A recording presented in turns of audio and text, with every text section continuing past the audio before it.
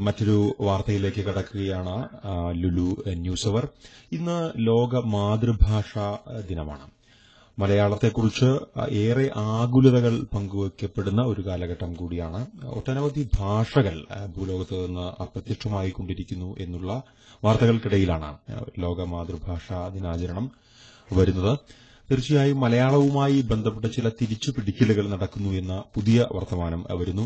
ഇതിനിടയിലാണ് ഈ ദിനാചരണം കടന്നുപോകുന്നത്. എന്തായാലും മലയാള ഭാഷയെക്കുറിച്ച് ഈ ദിനാചരണത്തെക്കുറിച്ച് സംസാരിക്കാൻ ഇപ്പോൾ നമ്മോടൊപ്പം ന്യൂസ് അവറിൽ ചേരുന്നത് യുവകവികളിൽ പ്രമുഖനും അധ്യാപകനുമായ എ സി ശ്രീഹരിയാണ്. നമസ്കാരം A C Sreehari. Lulu news അവറിലേക്ക് സ്വാഗതം.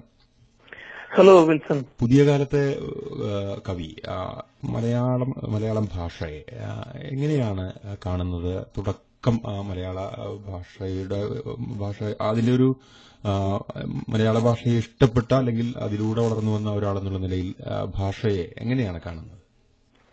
തീർച്ചയായും നമുക്ക് നമ്മുടെ മലയാള ഭാഷയോട് സ്നേഹം ഉണ്ടാകേണ്ടതാണ്.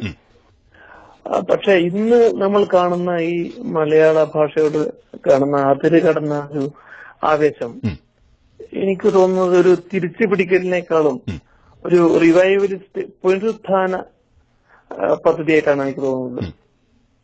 നമുക്ക് അങ്ങനെ കൃത്യമായിട്ടൊരു മലയാള ഭാഷ ഇപ്പൊ സംസ്കൃതം പോലെയോ തമിഴ് പോലെയോ അത്രയും വലിയൊരു ഒരു ആയിരക്കണക്കിന് വർഷങ്ങളുടെ പാരമ്പര്യമുള്ള ഒരു മലയാള ഭാഷ ഇല്ല പിന്നെ നമ്മുടെ മലയാള ഭാഷ മാതൃഭാഷ എന്ന് വിളിക്കുന്നതിനോട് പോലും എനിക്ക് എതിർപ്പുണ്ട്. മാതൃഭാഷ എന്ന വാക്ക് പോലും സംസ്കൃത വാക്കാണ്. നമുക്ക് അതിന് പോലും സ്വന്തമായിട്ട് ഒരു മലയാള ഭാഷയില്ല മാതൃഭാഷയ്ക്ക്. കുരിപ്പയുടെ അമ്മ മലയാളം എന്ന് എനിക്ക് തോന്നുന്നത് കുറച്ചുകൂടെ നല്ല ഒരു ഒരു വാക്ക് അതിന്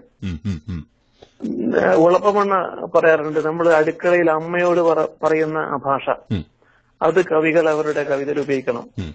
കാരണം ഏറ്റവും നിരക്ഷരായ ജനതയ്ക്ക് പോലും മനസ്സിലാവുന്ന തനി പച്ച മലയാളം.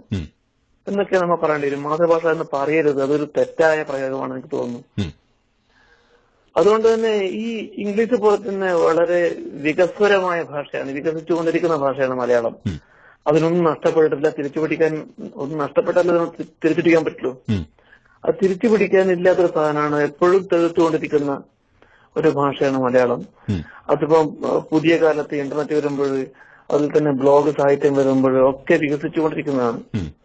പിന്നെ ഒരു കാൽപ്പനിക മനസ്സ് മലയാളികൾക്ക് ഉണ്ട് അതുകൊണ്ടാണ് ഇപ്പോ എൻ കുറിപ്പ് പോലുള്ള ആൾക്കാർ പറഞ്ഞത് നമ്മുടെ ഭാഷ മരിച്ചു പോകുന്നു തിരിച്ചു പിടിക്കണം എന്നൊക്കെ പറഞ്ഞത്.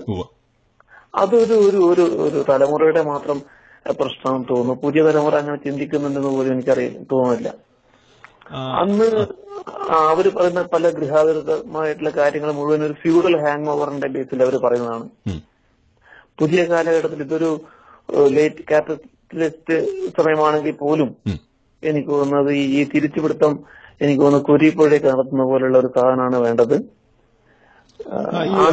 അങ്ങ് പറഞ്ഞു വന്ന കാര്യങ്ങൾ കുറച്ചുകൂടി വ്യക്തമാണ്. മറ്റ് ആഗോളീകരണം പലപ്പോഴും ഇത്തരം ചർച്ചകളിൽ കടന്നു വരാറുണ്ട്. നമ്മളുടെ ജീവിത വ്യവസ്ഥയെ സൗഹൃദത്തെ അധ്യാപനത്തെ ഒക്കെ ഈ ആഗോളീകരണം അല്ലെങ്കിൽ ആ ലോക തത്വം മാറ്റിമറിച്ചിട്ടുണ്ട്. അല്ലെങ്കിൽ അതിൽ ഇടപെട്ടിട്ടുണ്ട്. ഭാഷയിൽ ഇത് കടന്നു വന്നതായി തോന്നിയിട്ടുണ്ട്? എങ്ങനെയാണ് ഈ ഇടപെടൽ നടക്കുന്നത്? അങ്ങേക്ക് എന്താണ് തോന്നുന്നത്? ഭാഷയിൽ മലയാളം ഉച്ചരിക്കുന്നത് പോലും ഒരു മോശമായി വിചാരിക്കുന്ന ആൾക്കാരുണ്ട്. അതുപോലെ ഇപ്പോ ഈ ടി വി റേഡിയോ ആങ്കർ. ഭാഷ. പക്ഷെ അതിൽ കൂടി പ്രചരിപ്പിക്കപ്പെടുന്ന ഒരു സ്റ്റാൻഡേർഡൈസേഷൻ ഉണ്ട് അതൊക്കെ ഈ ഗ്ലോബലൈസേഷന്റെ ഭാഗമായിട്ട് വരുന്നതാണ്. ഇപ്പൊ അത് നമ്മൾ ഗ്ലോക്കലൈസേഷൻ ഗ്ലോബലി ലോക്കൽ ആയിട്ടൊരു ഭാഷ എന്നാണ് പറയാം. അത് പക്ഷേ എനിക്ക് തോന്നുന്നു എല്ലാ കാലഘട്ടത്തിലും ഭാഷയുടെ മേലെ ഒരു അധിനിവേശം ഒരു അറ്റാക്ക് എപ്പോഴും ഉണ്ടായിട്ടുണ്ട്. അതുപോലുള്ളൊരു അറ്റാക്ക് ആയിട്ട് കണ്ടാൽ മതിയോ? നമ്മൾ ഏറ്റവും ഗ്രാസ് റൂട്ട് ലെവലിൽ നമ്മൾ റെസിസ്റ്റ് ചെയ്യുന്നുണ്ട് അതിന്. ഇപ്പൊ ഞാൻ ഈ പറയുന്ന വാക്കുകളൊക്കെ തന്നെ ഞാൻ പച്ച മലയാളത്തിന്റെ ഭാഷയിൽ തന്നെയാണ് ഈ ഇംഗ്ലീഷ് വാക്കുകൾ ഉപയോഗിക്കുന്നത്. അല്ലാതെ ഉണ്ട് അയ്യപ്പ പണിക്കർക്കാരൊക്കെ അദ്ദേഹം ഈ ഇംഗ്ലീഷ് വാക്കുകൾ ഉപയോഗിക്കാതെ തന്നെ മലയാള വാക്കുകൾ ഉപയോഗിച്ചിട്ടുണ്ട് പകരമായിട്ട്. നമ്മൾ ഈ സാഹചര്യത്തിൽ എനിക്ക് തോന്നുന്നു നമ്മൾ എത്ര ഇംഗ്ലീഷ് വാക്കുകൾ ഒഴിവാക്കിയാലും. അതിന് പകരം നമ്മൾ സംസ്കൃത വാക്കുകൾ ഉപയോഗിച്ചുകൊണ്ട്. മാതൃഭാഷ എന്ന ഒരു ഒരു ഗീർ വേണം അതിന്റെ ആവശ്യമില്ല ഇംഗ്ലീഷ് വാക്കുകൾ ഉപയോഗിക്കാം തമിഴ് ഉപയോഗിക്കാം കന്നഡ ഉപയോഗിക്കാം തെലുങ്ക് ഉപയോഗിക്കാം ഇവൺ അറബി ഇപ്പൊ താങ്കൾ സംസാരിക്കുന്ന സമയത്ത് എനിക്ക് തോന്നുന്നു താങ്കൾ എന്നെ അഭിസംബോധന ചെയ്തതിനു മുമ്പേ പിന്നെ താങ്കൾ തന്നെ ഗൾഫിൽ സുഹൃത്തുക്കളോട് സംസാരിക്കുന്നത് എനിക്ക് തോന്നുന്നത് അറബി വാക്കുകൾ ഉപയോഗിച്ചുകൊണ്ടായിരിക്കും. തീർച്ചയായും. അത് താങ്കളുടെ ഒരു മാതൃഭാഷയായി മാറി. ഒരു അമ്മ മലയാളമായിട്ട് മാറും എന്ന് എനിക്ക് തോന്നുന്നു. അതുകൊണ്ട് ഇത്തരം മൗലിക മൗലികവാദങ്ങളോട് നമ്മൾ കുറച്ചൊരു ശ്രദ്ധ പുലർത്തേണ്ടതുണ്ടെന്ന് തോന്നുന്നു.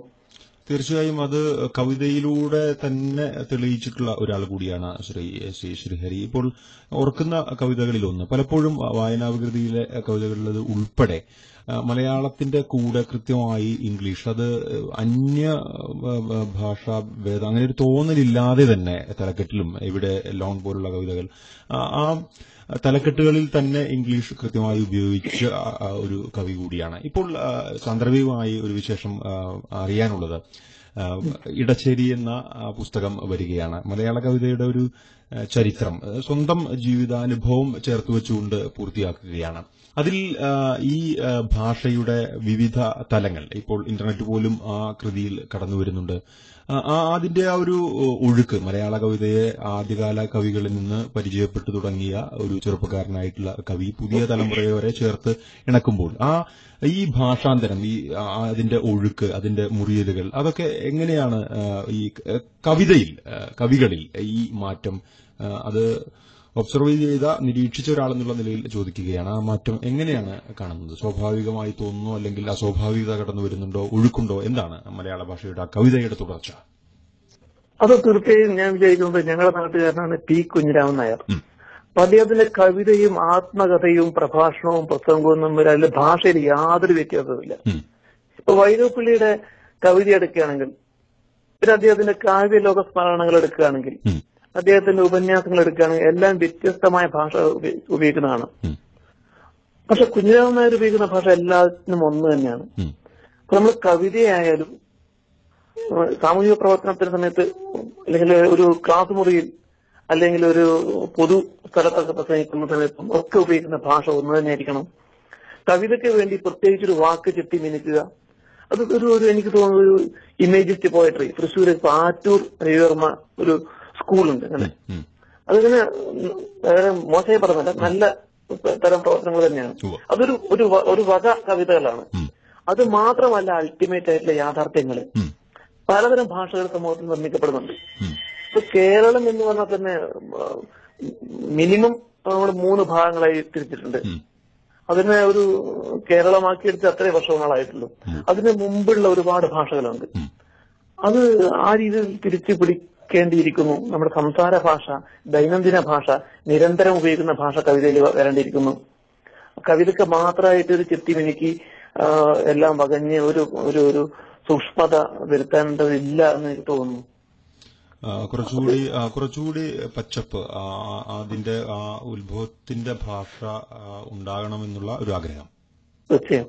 എന്തായാലും ഇത്രയും സമയം ലുലു ന്യൂസ് അവറിൽ മലയാളത്തെ മലയാളത്തെക്കുറിച്ചുള്ള ചിന്തകൾ പങ്കുവച്ചതിന് വളരെ നന്ദി Sri A C Sreehari. Thank you thank you very much